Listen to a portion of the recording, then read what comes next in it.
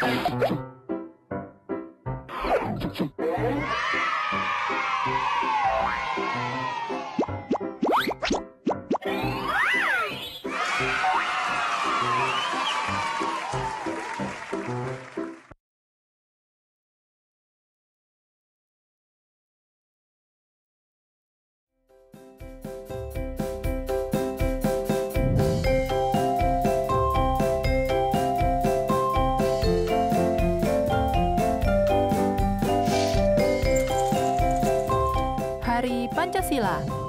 Episode 85 untuk teman-teman kelas 1. Pancasila lima dasar. A, B, C, D. Sebutkan nama-nama buah. Buah yang huruf depannya D itu... Oh, aku ingat. Durian. Selain durian, buah yang huruf depannya D apa ya? Oh iya, duku. Asik, kita bisa menjawabnya. Halo, selamat pagi teman-teman. Hayo, hari ini hari apa ya? Iya, betul. Teman-teman, aku dan Kak Nisa baru saja bermain Pancasila lima dasar. Seru sekali ya permainan ini. Tapi kamu tahu tidak kapan hari lahirnya Pancasila? Hehe, aku lupa kak. Hari lahir Pancasila itu tanggal 1 Juni. Disebut hari lahir Pancasila karena di hari itulah Pancasila pertama kali disampaikan sebagai dasar negara. Dan hari lahir Pancasila merupakan salah satu hari besar nasional. Oh iya, hari lahir Pancasila ini berbeda dengan hari kesaktian Pancasila ya. Nah, ingat ya teman-teman, hari lahir Pancasila itu tanggal 1 Juni. Dan hari kesaktian Pancasila dirayakan tanggal 1 Oktober. Kedua hari besar nasional itu menunjukkan bahwa Pancasila adalah dasar negara yang nilai-nilainya harus kita jaga. Wah, ayah buat egrang. Iya, ini ayah buatkan egrang untukmu. Asyik, terima kasih ya. Tapi kok kamu bisa tahu egrang, nak? Iya ya, aku tahu. Karena aku pernah membaca buku cerita tentang egrang. Aku jadi ingin membaca bukunya lagi. Ayah mau kan menemani aku membaca cerita itu? Tentu saja ayah mau. Nanti kita baca bersama-sama ya. Teman-teman, aku dan ayah akan membaca cerita berjudul Festival Egrang Sutiha. Kami akan membaca secara bergantian. Tetapi sebelum membaca atau melakukan kegiatan apa pun, kita berdoa dulu ya menurut agama dan kepercayaan masing-masing. Berdoa mulai.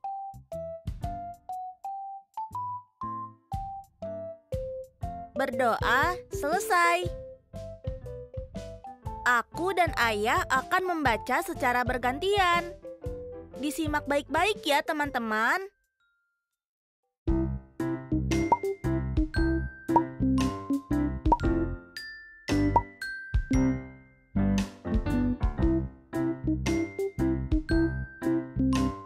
Festival Egrang Sutiha. Ibu sedang pergi. Kakak sedang membersihkan rumah. Sutiha menggendong adik supaya tertidur. Ada festival egrang. Hmm, Sutiha ingin ikut festival ini. Untung adik sudah tertidur. Sutiha bisa latihan egrang dulu.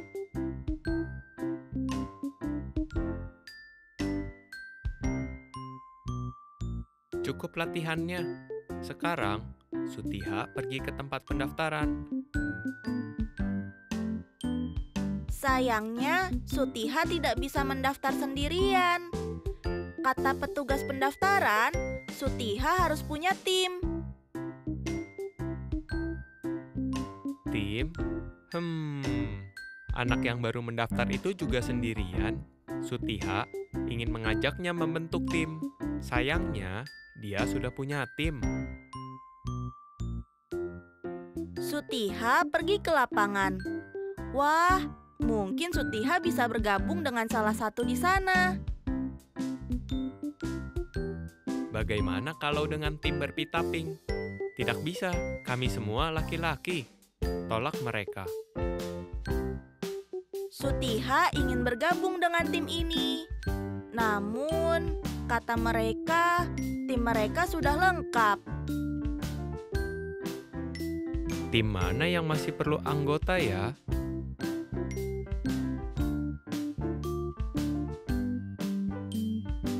Hei, kita buat tim sendiri yuk. Aku ikut ya, aku ikut ya. Wow, Sutiha kini punya tim.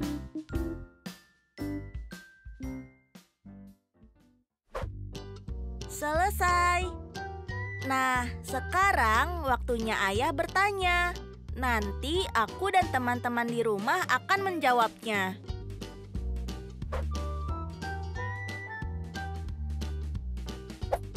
Baiklah, pertanyaan pertama, siapa saja yang ada dalam cerita? Tentu saja Sutiha. Kemudian kakak dan adiknya. Lalu ada juga panitia dan para peserta festival. Wah, jawaban kamu betul. Sekarang, pertanyaan kedua ya. Di mana ceritanya terjadi?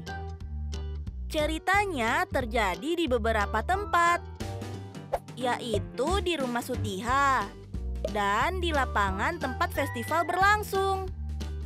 Betul. Nah, pertanyaan terakhir. Kapan ceritanya terjadi?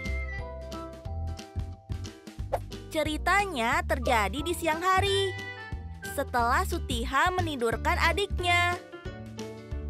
Dua jempol, betul semua. Tadi kita sudah menyimak bersama-sama cerita berjudul Festival Egrang Sutiha. Ada beberapa kosakata baru yang kita pelajari, seperti tim, egrang, dan lapangan. Nah, sekarang kita menggambar dari kosakata tersebut ya. Ini adalah gambar tim atau kelompok egrang Sutiha. Ini adalah gambar egrang yang dimainkan Sutiha. Dan ini adalah gambar lapangan.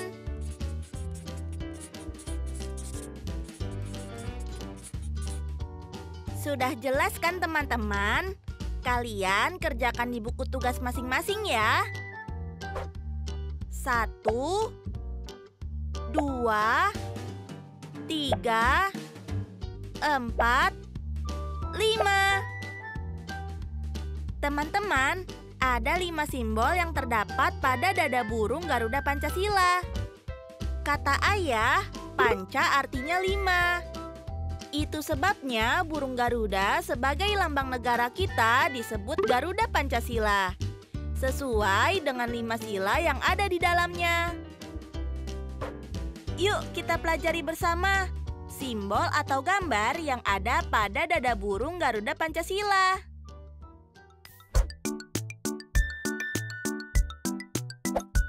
Perhatikan simbol atau gambar yang ada di dada burung Garuda Pancasila ini.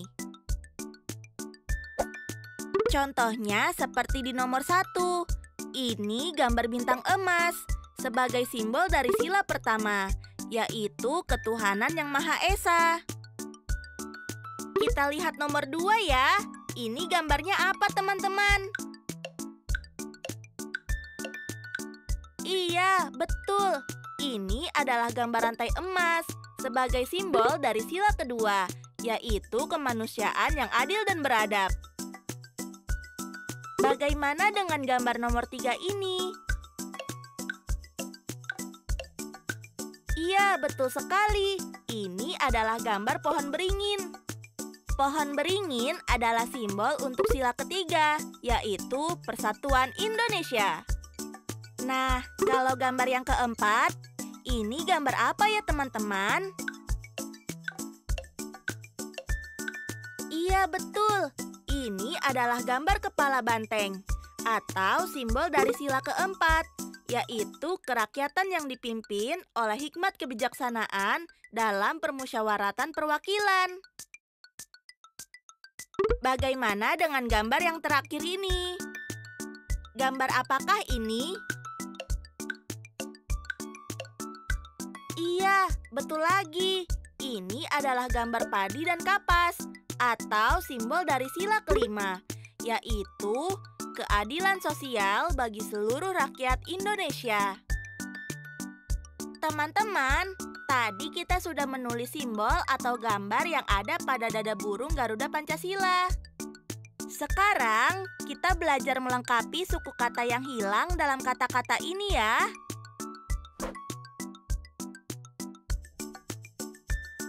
Lengkapilah dengan suku kata ti, ra, wan, dan la.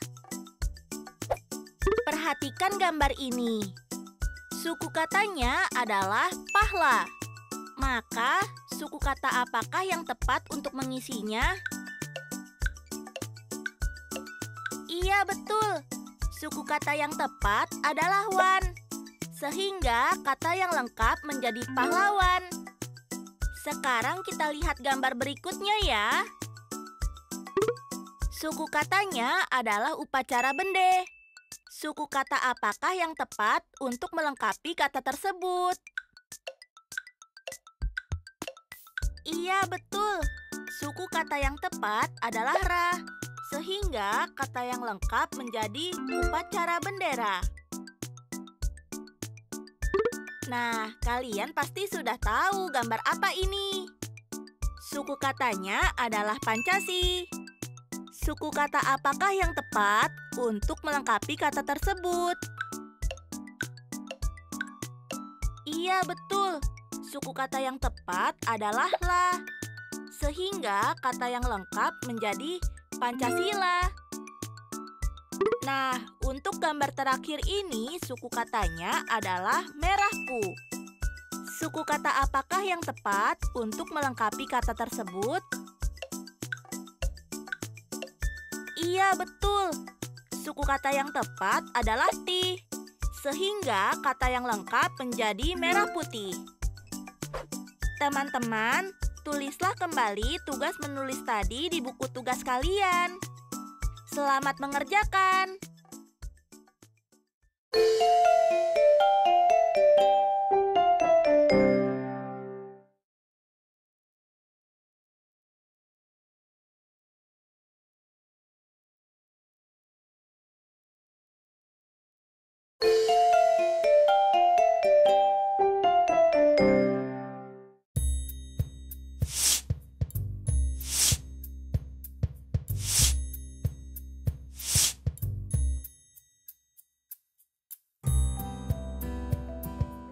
Kotak-kotak ini banyak sekali, Bu.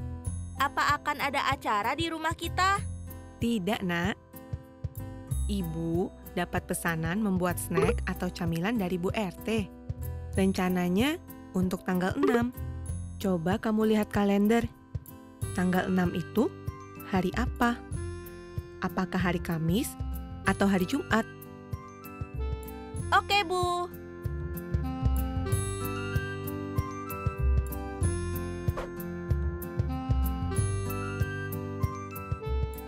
Teman-teman, tanggal 6 jatuh pada hari apa ya?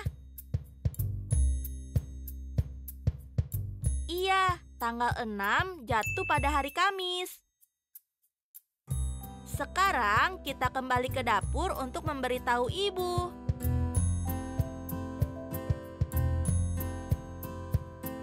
Bu, tanggal 6 jatuh pada hari Kamis.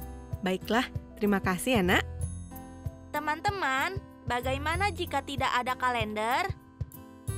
Apakah kita bisa mengetahui tanggal dan hari apa yang kita maksud? Untuk mengetahuinya, yuk kita simak bersama-sama.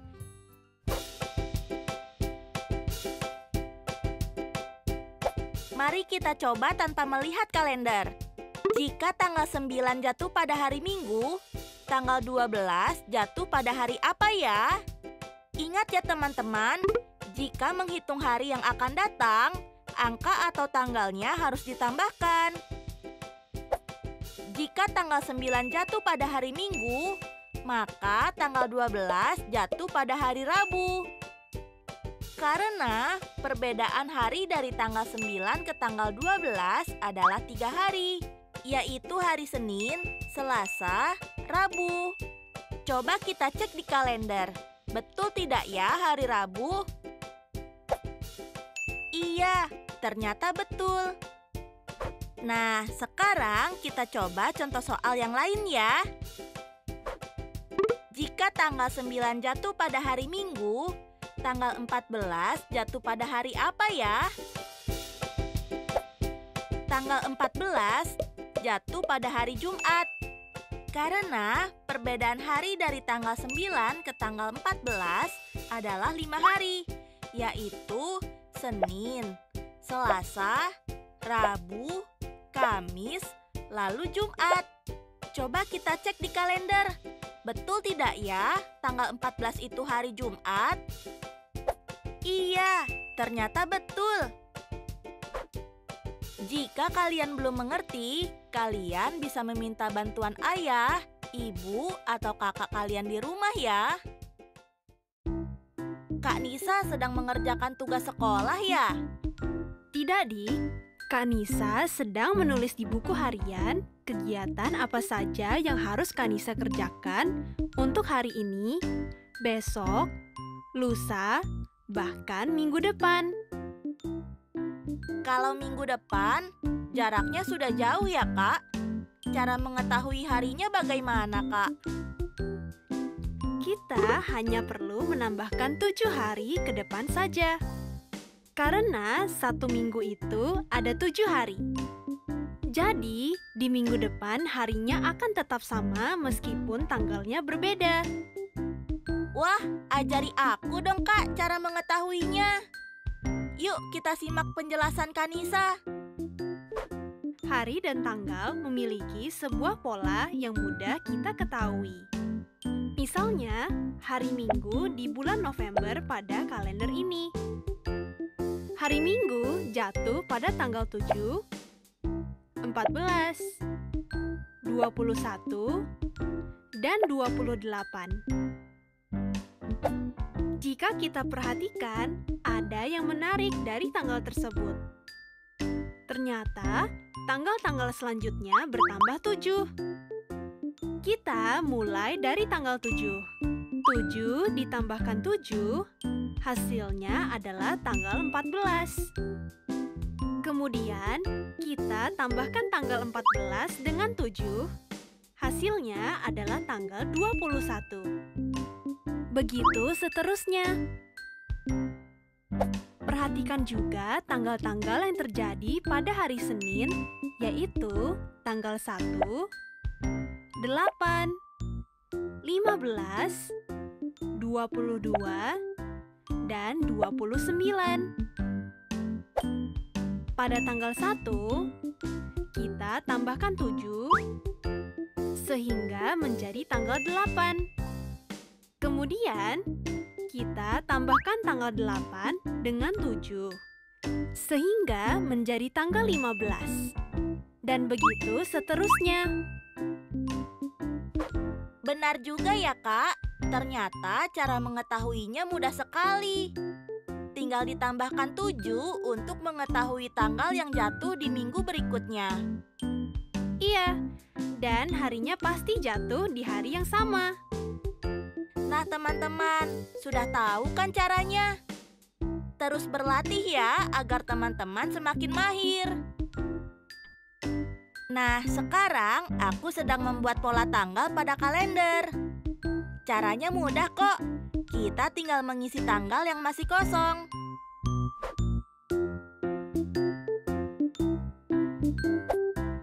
Isilah tanggal yang masih kosong pada gambar kalender ini. Di contoh kalender ini sudah terisi tanggal 1 untuk hari Selasa. Tanggal berapakah pada hari Rabu? Iya, betul. Hari Rabu adalah tanggal 2. Hari Kamis tanggal 3. Jadi hari Jumat tanggal berapa ya?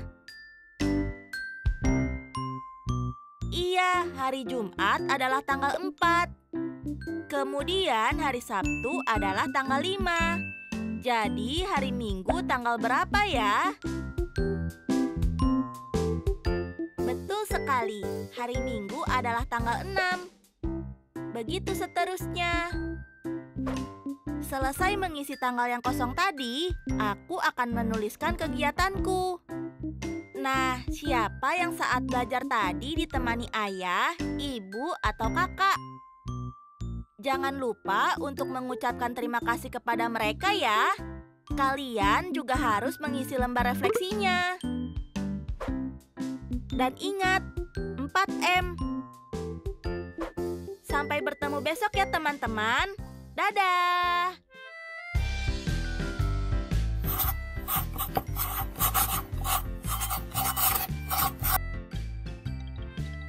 Wah, hari ini banyak sekali ya pelajaran yang sudah kita pelajari. Kita sudah mengenal hari lahir Pancasila sebagai salah satu hari besar nasional. Menyimak dan menjawab pertanyaan dari cerita berjudul Festival Egrang Sutiha. Menggambar kosakata baru dari kata yang ada di cerita. Belajar makna simbol yang ada di burung Garuda Pancasila melengkapi suku kata, menentukan nama hari sesuai dengan tanggalnya, mengenal pola untuk menentukan tanggal dan nama hari yang sama dalam satu bulan, dan membuat pola tanggal pada kalender. Sampai di sini perjumpaan kita ya. Sampai jumpa besok. Dadah. Sekarang tetap belajar dari rumah ya, teman-teman. Jaga jarak, rajin cuci tangan, dan pakai masker agar kita mencegah penyebaran COVID-19. Sampai jumpa!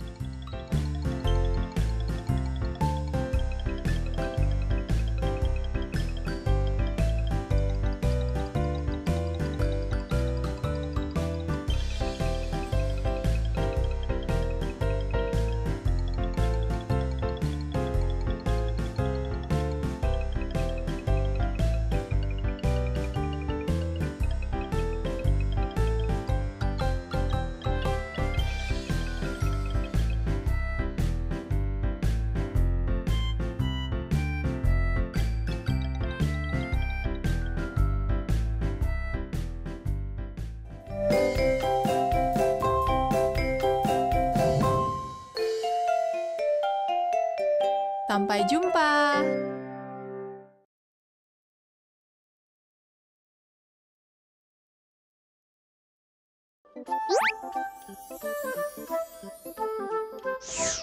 Halo sahabat Dikbud, di masa kebiasaan baru seperti sekarang ini, ingat selalu pesan ibu. Keluar rumah kalau penting saja ya nak, ingat untuk selalu 3M. 3M itu mudah dilakukan dan bisa mencegah penyebaran virus corona.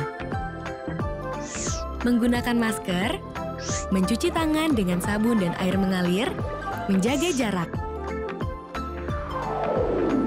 Sahabat Dikbud, kalau kamu sayang keluarga, jangan bawa virus ke rumah ya. Ingat pesan ibu, ingat 3M.